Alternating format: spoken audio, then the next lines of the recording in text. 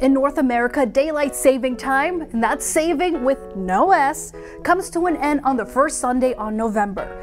This is when we turn back our clocks an hour and return to standard time. But what does standard time mean? It's the local time for a particular region and is sometimes referred to as normal time or winter time. We stay in standard time until the second Sunday in March and switch back to daylight saving time, like clockwork. It may seem like a normal routine for us, but not everyone makes these twice yearly time adjustments. About 70 countries stay on standard time all year round.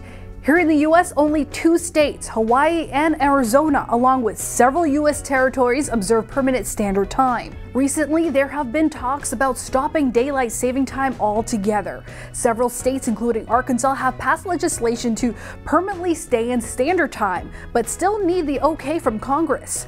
The problem? Progress on that has been slow. So, let's talk about the health effects of these time changes. When we fall back, we get to enjoy that extra hour of sleep. But earlier sunset times and more darkness through the winter can lead to seasonal depression and other impacts to our mental health.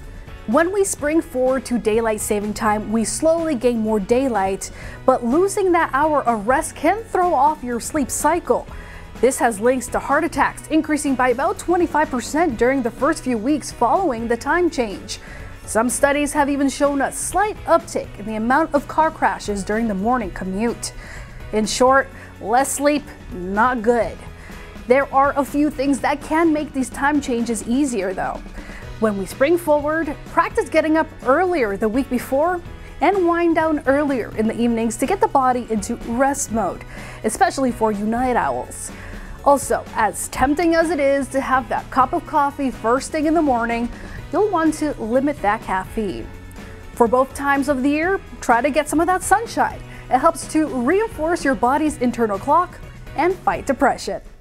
With this week's Science Says, I'm Corallys Ortiz.